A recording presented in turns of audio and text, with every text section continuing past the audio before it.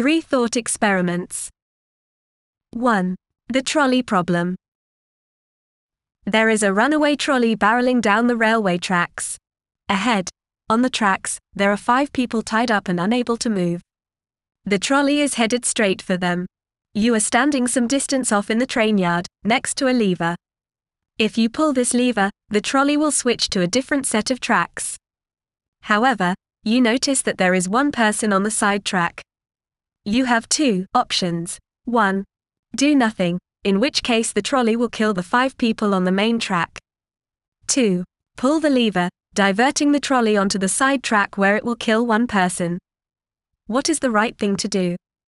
This puzzle challenges us to think about our moral responsibilities when we have the authority to make a choice that will cause someone's death. The trolley problem has no apparent solution, yet it is a helpful tool for investigating ethical quandaries and the ideas that influence human decision making. 2.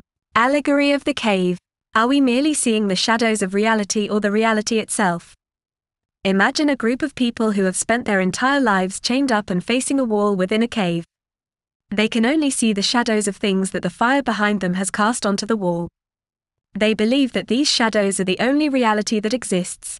If one of the prisoners were forced to turn around and face the fire, then that prisoner would experience a new reality and realize that the shadows were mere illusions.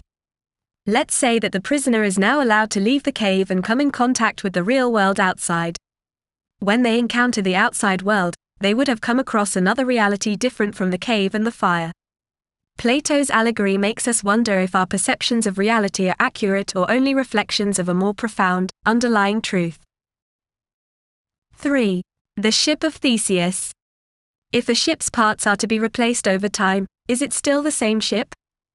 In the paradox, the question is whether a ship that has had all its components replaced throughout time is still the same. It makes us wonder if something can endure significant change while remaining essentially the same throughout time and how we can tell when something has altered fundamentally enough to be the same thing no longer.